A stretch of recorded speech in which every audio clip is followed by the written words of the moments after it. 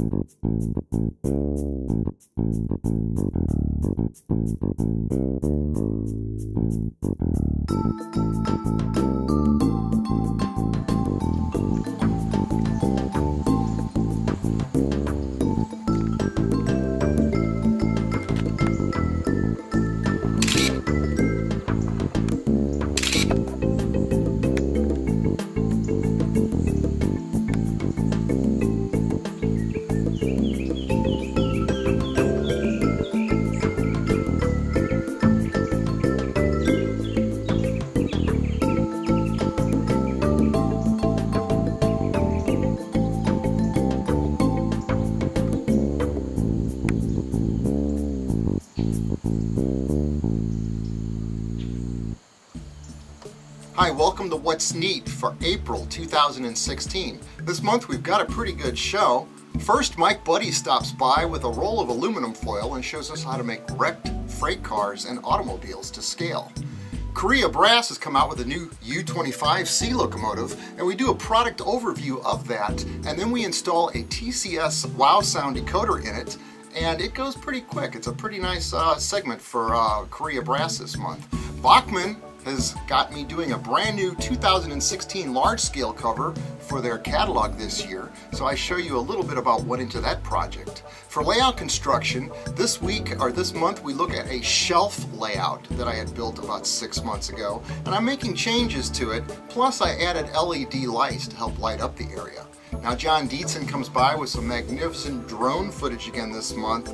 So we've got a pretty good show when you add that to all the run-bys for what's neat for April 2016. But first I want to tell you I got a package in the mail and this would fit under freight car and modeling tips for this month. The package in the mail came from Weathering Solutions and what they sent me was some of their new products, their new weathering decals and graffiti decals. I really like their graffiti decals because they're taken right off of the sides of prototype uh, freight cars. But if you look at all of these photographs that I'm showing you right now, these are freight cars that were weathered using decals. Now, they've got a product line of rust streaks in all scales, in O scale, HO scale, the various types of scale, even large scale.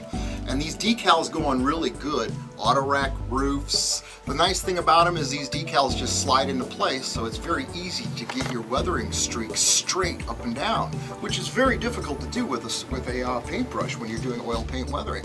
So Weathering Solutions takes all the guesswork out of weathering with this new line of decals they sent me. So check it out. Uh, weatheringsolutions.com is the website to go to. They've got a full line of decals. Everything's available to be shipped and there's some pretty nice guys to work with. So that's the modeling tip this month on how to weather your freight cars and take all the guesswork out of the oil paint streaks and rust that we like to do. So that's, here we go with what's neat for April 2016. Let's go start with Mike Buddy.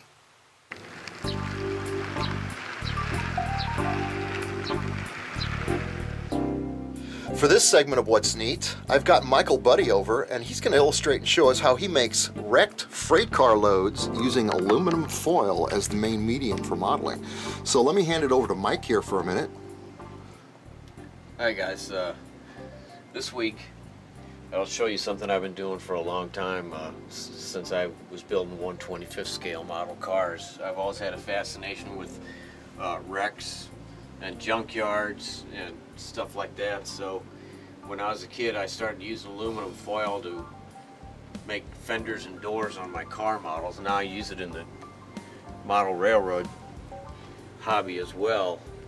And all the vans on this uh, auto rack have been wrecked using parts with aluminum foil. And uh, same thing with this, and the the ends of the decks are aluminum foil made to look like they were crushed in. So I'll show you how I do this. As you can see here on these auto racks, uh, one of them has the vans all smashed together. They couldn't get out because the uh, ends were crushed in. This one is full of vans that were drivable and that they could put on another rack to take them away. Then this box car was one that had the side to totally torn out of it yet could still be transported on the rails because I have prototype photos of one that looks just like this. So in order to achieve this kind of damage I would cut away part of the existing model and replace it with foil that I embossed and crush it. I take the existing model and cut parts of it away where I want the damage to be and replace it with embossed parts.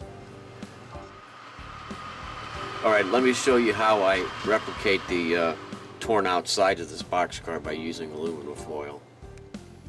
Alright, let me show you how I do this. Uh, just take a, a, piece of foil. That beer car that I, the Southern Pacific beer car was one just like this Mopac. So take a piece of foil that's about the, the right size. It's a little better if it's a little bigger because then you have more to hold on to, but then you just emboss it with like a Kleenex on the end of your fingertip or a Q-tip. Take your time and try and get all the rivets. I took the ladders off, or I didn't put the ladders on here because I didn't want to try and mold over that. But keep the foil from moving and just keep going over it and over it.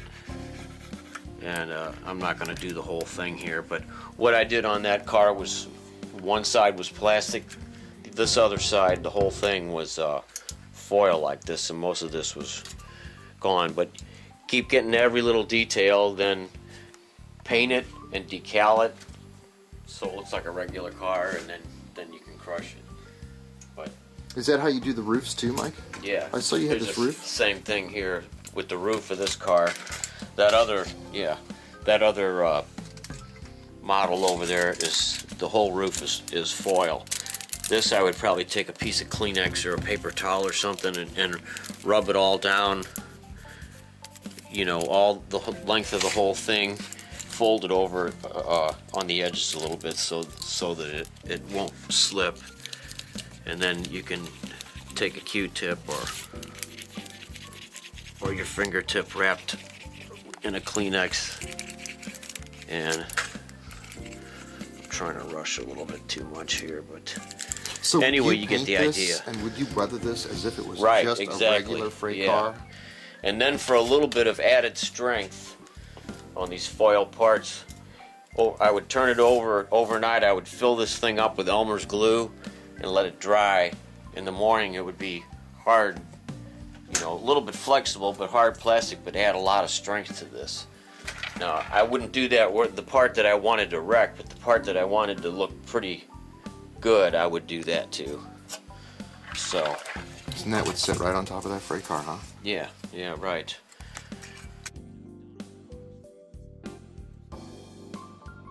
These are very delicate models, aren't they? Yeah, but like now another trick you could do with the foil is on a box car like this. You could make a roof or a part of a roof and simulate the forklift. You know, big bulges where the forklift would hit it from the inside, or dents or whatever. Same thing. You take this foil and like those vans over there on that auto rack. You just you press it all around and and uh, make an impression of the van or the part of the van that you want to damage just make a real good casting then cut this off with a Dremel tool or, or, or you know however you do it I use a Dremel tool. Then you trim this glue it on paint it all and then carefully I don't just smash them I, I plan what I'm gonna do. I plan the damage. And same thing with that freight car, uh, that uh, box car. I made fake ribs and everything. I added a lot of detail to it other than just the foil, but the fact that it was painted and had decals really helped make it look realistic. So. Mike, this is a really cool tip. You could do this All with right. a multitude of different types of models. What a beautiful, convincing effect your Yeah. wrecked freight cars are. Thank you so much for sharing All this with us on What's Neat, Mike. Next time we'll show the auto junkyard.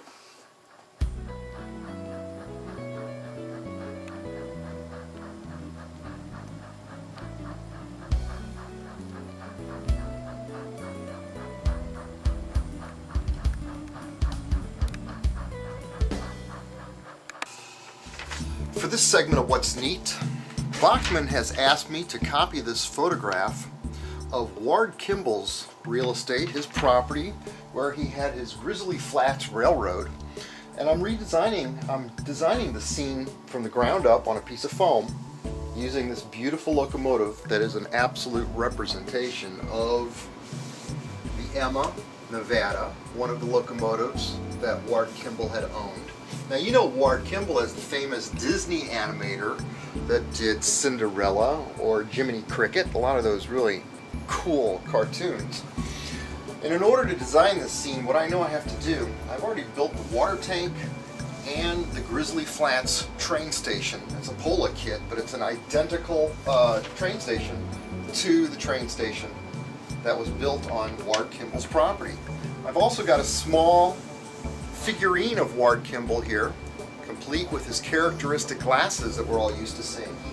Now when I design this scene, it's going to be a floating scene because I built the, the, these buildings as per Bachmann's instructions, but I do know that the photograph is all about the locomotive.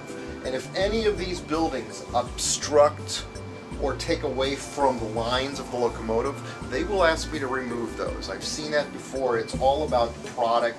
The scenery is generally secondary on a shot like this. Now this is going to be the cover for the 2016 Bachmann catalog. Uh, and if you notice on the diorama here, I've got some lines drawn with black magic marker. And what these lines represent is what the camera sees. So everything that's on the inside of this black line will have to be modeled. So I'm going to take this foam and I'm going to cut off about a foot and a half of it here. And then what I'll do to save on ballast, I'm going to take the track and I'm going to router out the area where the track goes and router it down about just a little bit less than a quarter of an inch. And that'll sink the track into the scene. And this is the Bachmann track that I've got to use, so I may or may not paint it. I'm not sure what I'm going to do with that yet. Then I'm going to ballast the scene, put dirt down on the scene, and keep the buildings so they can slide and be floatable for the photograph. So I'm going to work on this project now, and let's see how this one turns out. So here we go. We're going to do the first test shoot for the Bachmann 2016 cover. And the reason I have to do this is I've got to do a vertical shot and a horizontal shot and show the manufacturer the photographs just to make sure it's what they want. Now, they may want a building removed or buildings slid around forwards and backwards, just different things to tweak the photograph. It's very important when you're trying to satisfy a customer to get it right. So I'm set up now, I've done this vertical shot, I'll show it to you right here. And I've also done the horizontal shot. And I kind of like the vertical shot better, and I think that's the way it's going to go. So I'm going to focus on the vertical shot, add some weeds to the scene out here in the foreground, rope weeds, or just woodland scenics weeds that I stick in there and have them standing up about a foot. I'm going to add the station name, Grizzly Flats, to the side of the building right here. And I'm after a phone call and showing them the test shots, I already know that I'm going to shove the station back about 12 inches and I may eliminate the water tank completely because it interferes with the lines of the locomotive. As you can see, the smokestack just kind of disappears in the shadow of the roof. So there's a couple tweaks that are going to happen to this just to get it right to make sure the customer's happy. So do all those things inside tonight and then I'll set up again tomorrow and let's see how the shot comes out for the final. So here it is, day two. This is the actual photo shoot day for the Bachmann cover shot. And I've got the photographs that I've got to work with here. I've got the shot from last night and the prototype shot that we're covering here for the shot. And everything's all set up out here now the way it's supposed to be. You'll notice that a lot of the scenery isn't finished on this diorama simply because what's not going to be seen wasn't necessary to do. Everything's set up where they want it. The water tank's been pushed way far back in the diorama. The train station's got its name on it. It's set up in a position here. And I've also got the locomotive sitting here in all of its glory and looking nice. So I've got the camera set up in a vertical position. I've added a few trees to the background here just to make it a little bit more interesting as we go off to the rear of the shot. And it's set up exactly like the corporate customer wants it to be. So let's see how this turns out now. Through the magic of the computer, I can now show you. This is what the final shot comes out. This is what it looks like. The engine's right where it needs to be. Everything's set up just the way it's supposed to be for the shot. So now, when you see the Bachmann catalog at your next trade show, you're gonna know how this photograph was taken. Large scale scene, cutting a lot of corners, but otherwise a very, very good corporate cover shoot, just like what we want.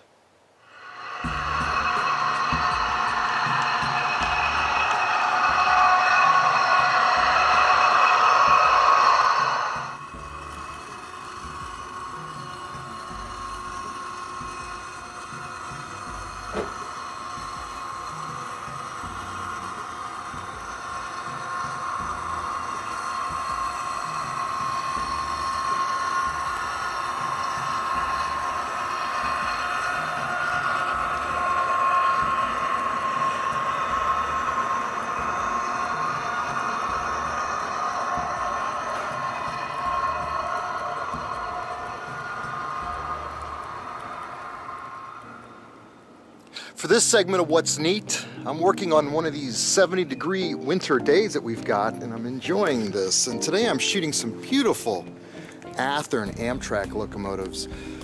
Which one is your favorite paint scheme? There's just so many beautiful paint schemes that Amtrak keeps coming out with and the models are able to be reproduced and it's just wonderful the various ones that we've got to shoot. I'm also shooting a new manufacturer's products today. I'm shooting Korean Brass. I'm shooting their brand new U25C locomotive and I've got to tell you these are absolutely beautiful models to work with today. Here's what the actual photograph looks like that I was able to shoot really satisfied with the great detail on the screens on these models. They just look exquisite. Now these models that I've got are the models that do not have sound in them. But what they do is when you order a model with sound in it, they simply put it in for you. So I asked for the sound system. So let's take these inside now that I'm done shooting them and let's put the sound in them and test them on the layout and see how they do. To start the decoder installation process, I cut open the package with the electronics and dumped this onto the paper towel to find a KA2 Keep Alive, a TCS WOW 101 decoder, and a 16 by 35 WOW speaker. I took the coupler off of the rear of the locomotive with the model safe in a cradle. I then took the coupler off of the front of the locomotive, making sure the sunshades cleared the cradle. By holding the fuel tank and the shell, I pulled the shell off of the frame. It was nice that there were no wires connecting the locomotive's lights to the chassis. I unscrewed the front light contact spring bracket to make room for the Keep Alive to be fit into the chassis' front speaker enclosure. I then reassembled the light spring bracket. I put a small amount of Walther's goo onto the sides of the speaker and then mounted this into the locomotive's rear speaker enclosure facing up. I then proceeded by removing the screws that held the DC jumper power circuit board to the chassis. I used a small screwdriver to unplug the circuit board from the 9-pin harness. I then installed the decoder by simply plugging this into the 9-pin harness. Next, I then located the harness that the speaker and the Keep Alive were wired to and proceeded to plug this 7-pin connector into the WOW 101 decoder's end jack. And that was it. The sound was installed in 9 minutes and I didn't need to do any soldering. So with that I reassembled the shell onto the chassis. I then started to install the front coupler and I noticed that these couplers were metal couplers. With the spring it appears on the inside so this is a new designed coupler that appears to be very strong. I then went ahead and reinstalled the rear coupler onto the locomotive and now it was time to put it on the track and see how it performed and what it sounded like.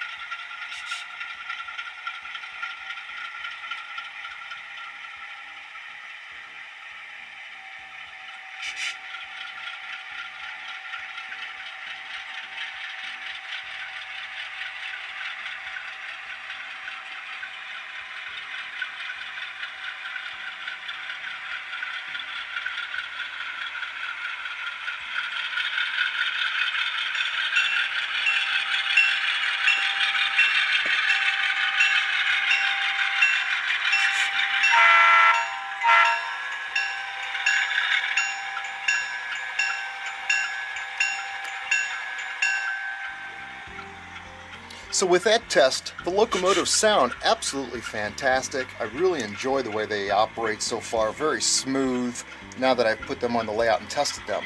Now I spent a few hours on the TCS website reading about these decoders and how they operate. And there's a lot of information on the website about these decoders and all the features that they have got in them that I suggest strongly that you go at their website and look at. Um, it would take me an hour to explain everything that these decoders can do. I can tell you that they're different from most of the decoders that I've used in the past in that, for example, let me show you, in order to toggle between sound, right now I've got my throttle set up so if I hit the buttons on it, I'll get the bell and I'll get the horn. But in order to change the lighting effects, you toggle F8 twice, hit the button twice. Active.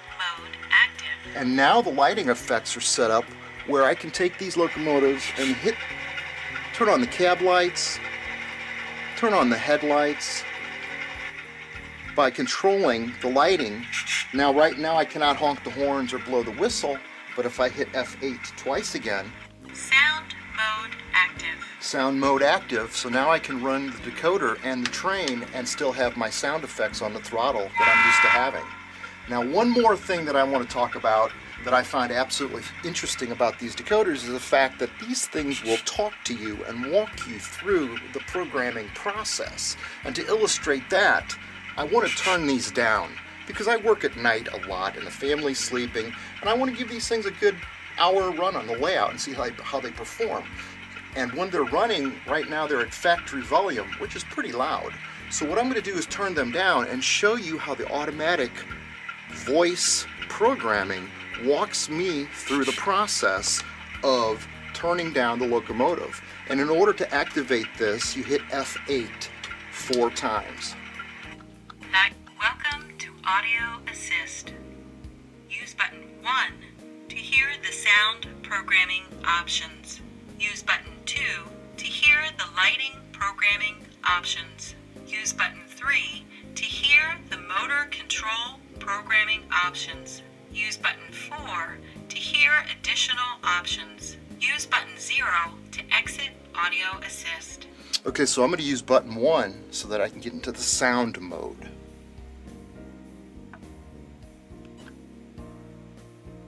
Use button 1 to hear the sound programming options. That's what I want. Use, bu- use button 1 to adjust sound volumes. Use button 2 to use button 1 to adjust the master volume. Use button 2 to adjust sound volumes. Use button 1 to decrease the master volume. So now I'm going to hit Button two I'm going to hit to button one and I'm going to turn it down. Hear it going down. So I like that. That's a good sound level for running at night. I understand this is a ringtone that you can get on your cell phone, by the way.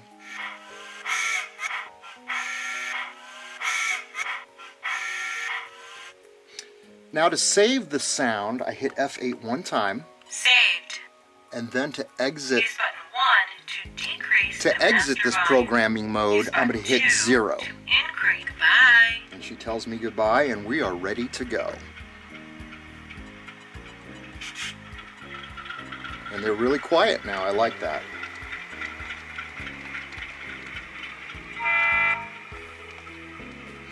So, so overall, I would say that these Korean brass locomotives are a really nice surprise. They're beautiful. They photograph well. The uh, TCS uh, decoders in them are very interesting and have a lot of features. I'd say this is another winner.